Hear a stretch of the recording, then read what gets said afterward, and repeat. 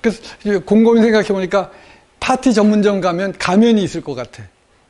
그래가지고 여기서는 창신동 나가면 있어요. 동대문 바로 옆에 창동 가면 이런 기구들이 많이 있습니다. 그런데 이 세 분들은 가리라고 해도 얼굴을 안 가렸어. 무엇을 뜻할까요?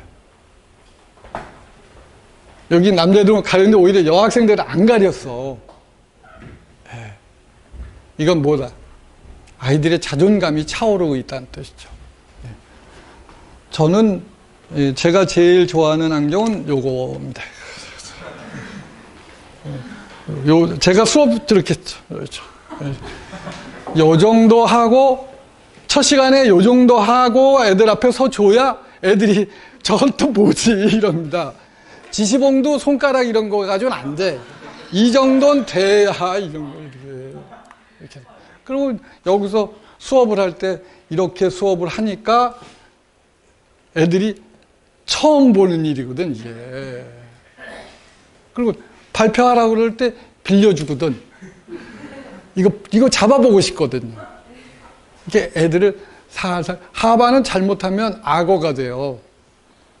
악어를 채찍으로 다스릴 수 있으시겠어요? 그럼 뭐 아닙니다. 살살 먹이로 달래야죠. 근데 이 그런 먹이들이 바로 이런 재미있는 거리들이에요. 괜찮죠? 궁금하죠? 어디서 살까? 내년에 지금 3학년 학생들은 내년에 2학년 학생들은 후년에 그 학교에 나가실 텐데 이 사실 교직이 사양 산업이라는 걸 이해하세요? AI가 있어, 알파고가 있어.